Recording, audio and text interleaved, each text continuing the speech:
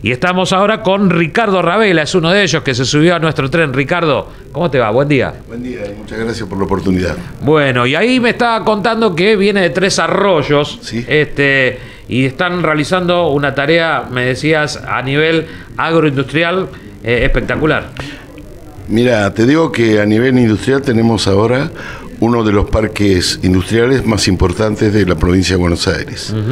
Son 160 hectáreas, producimos alimento para 40 millones de personas, es agroindustrial, metalmecánico, de servicios. Y también eh, ahora estamos con el polo eh, petroqui- perdón, con el polo de desarrollo que tenemos a través del ministro Firmo y del diputado Carlos Moreno, que nos consiguió instalar había seis y uno lo conseguimos para Tres Arroyos, que va a ser con la UTN, conveniamos, y va a ser eh, la salida de tres años de estudio para ingeniería, para ingeniería industrial y bueno, de ahí para partir y capacitar a la gente. También lo hacemos en la fase de agro y también de servicio y logística. Tenemos aduana propia dentro del mismo parque y bueno, y nosotros hemos crecido desde el año 2010, 2011 de 100 190 empleados y 10 empresas a hoy 3.500 empleados y 90 empresas. o sea Eh, que están en plena etapa de crecimiento. Total, total, total. Este, ¿Cómo se hace este tipo de trabajo? ¿Para qué, ¿Para qué sirve? Contémosles un poco a la gente Sí. el tipo de formación que van a tener allí en esto que vos me estabas señalando que eh, lo han conseguido por parte de lo que es el Ministerio de Ciencia y Tecnología. Ciencia y tecnología y producción de la provincia de Buenos Aires. En combinación los dos ministerios. Uno pone el equipamiento, el otro pone la infraestructura edilicia. Y lo maneja la UTN de Bahía Blanca. Eh, nosotros, con esos tres años que los chicos comienzan el año que viene, son tecnicaturas que ya están preparados para herramientas de última generación. Que también ese polo de desarrollo tiene como, como eh, corresponde, pero con mucho esfuerzo, tiene laboratorios donde nosotros analizamos todos los materiales.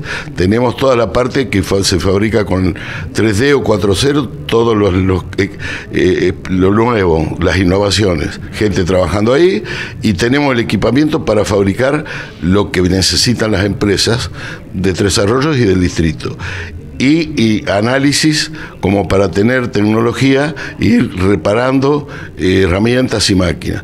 No es solamente para la parte eh, eh, metalúrgica ni metalmecánica, sino también es para la parte... a lo que es la agroindustria. Exacto. La agroindustria. Hoy, Nosotros... hoy se necesita este tipo de preparación, ¿no? Sobre todo eh, con el avance que hoy está teniendo eh, el agro, también uno tiene que ir insertándose y cambiando. ya no alcanza con el secundario, para nada. Hoy yo veo las fábricas en desarrollo, yo estoy con la segunda, estoy hace 20 años con la segunda generación, y ya estos chicos, los hijos que toman las empresas, viajan por todo el mundo, hacen innovaciones, traen tecnología y cosas que no las pueden manejar si alguien no está preparado. En eso estamos nosotros con muchos estudios universitarios, tenemos este, eh, un instituto eh, terciario para siete, ocho carreras, casi todas ligadas al agro. Y nuestros chicos que se van a estudiar afuera vuelven a Tres Arroyos, porque tienen los puestos de trabajo. Lo que pasa que lo que últimamente se estamos viendo con el intendente es que lo que están tomando son gente capacitada o chicos ya con cierta capacidad. La robótica, toda la mecánica nueva y todo lo que es, bueno, la tecnología que conocemos, eh, tienen que estar integrada porque ya nada se hace con un martillo. No, no, claro, lógico. Eh, y nosotros tenemos 600.000 hectáreas.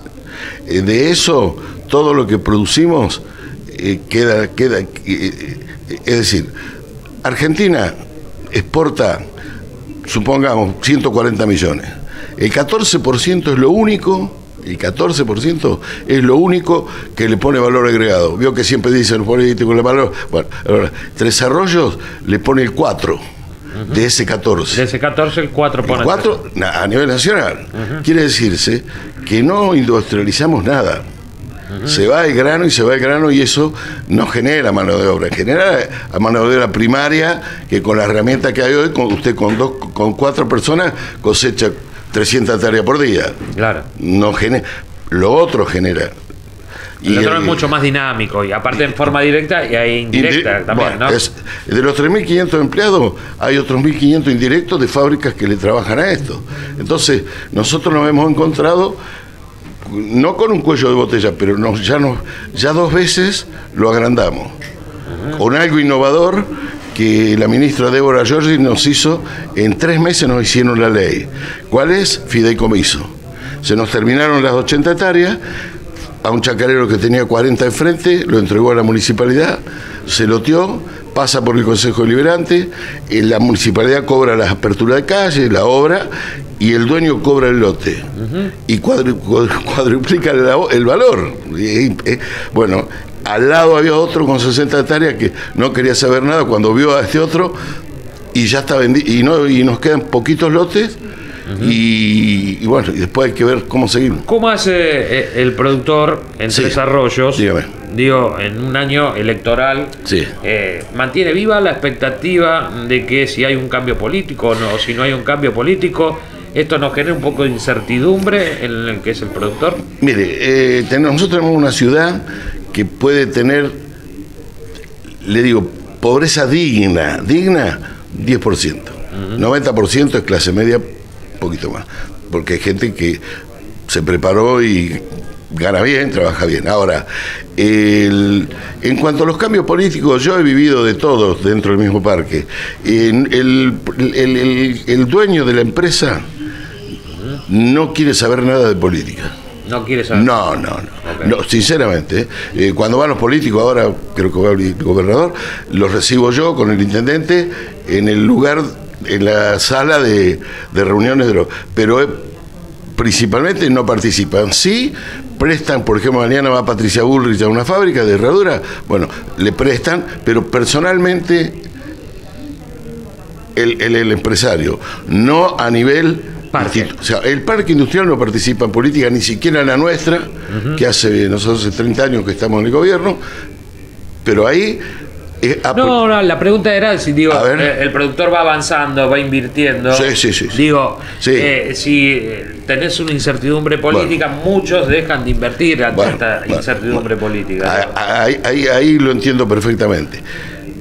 Yo, por ejemplo, soy encargado de decir, tenemos una sucursal del Banco Provincia dentro del parque. Tenemos aduana, tenemos gas, tenemos todos los servicios. ¿Qué pasa? Cuando hacemos las reuniones y invitamos a los este, empresarios, van 10, 15, 20. Ninguno quiere crédito. Porque son todos que la han pasado en el 2001, los hijos lo vieron y ahora saben cómo lo hacen, al contadito, y los ahorros lo hacen en cereal. Van vendiendo como ahora, Sí, sí, no sí. te vendo la soja porque yo tengo que pagar las semillas. Se, se ma- se han hecho un banquito de materiales propios, unos ahorros, entonces es muy difícil que la empresa de mediana para arriba tome crédito. Sí, las pequeñas, que son iniciales, porque hoy mismo le están dando crédito al 29% con un año de gracia. Entonces, bueno, para un galpón. Pero son las pequeñas. Las grandes empresas, las exportadoras grandes, por ejemplo, hay una fábrica que hace un millón y medio de paquetes por día de fideo, que es Molinos Tres Arroyos. Bueno, a nivel de toda esa gente, fábricas de herradura, la fábrica de pintura de coarte, esa que usted ve para los chicos, esa está allá. Bueno, toda esa gente se maneja con fondos propios. Ha hecho un colchón, o lo tiene en mercadería, o, o sea, lo- no tienen miedo de que cambie un no, no, gobierno. no, no, no, no, sí, no. Van a seguir trabajando. En este momento, Sea quien sea. bueno, y le puedo decir algo, casi todas las metalmecánicas y algunas de, tenemos el fabricante de eh, pochoclos, de maíz pisingallo, una fábrica grande, todas las fábricas, casi todas, eh, tienen más o menos hasta junio del año que viene vendido. Los que hacen sin fines, los que hacen silo. Prácticamente ya está el año por delante. Sí, sí, sí, sí, sí. Me decías que viene una buena cosecha, ¿te sorprende? Gracias a Dios ha llovido y a tiempo espectacular. Así que pueden cambiar la regla del juego tranquilamente. y ya le digo, eh, yo ando todo el día con los empresarios. ¿Y cómo te va? Sí, y todos en Argentina, yo he visto tanto y tuve una pyme 40 años, una fábrica de abertura de aluminio, que, ¿qué le digo? Eh, somos de por sí quejosos. Hay quien se queja con razón y hay quien la pasa mal.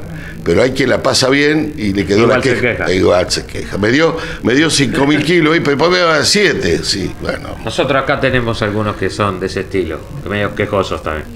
Pero bueno, lo dejamos pasar.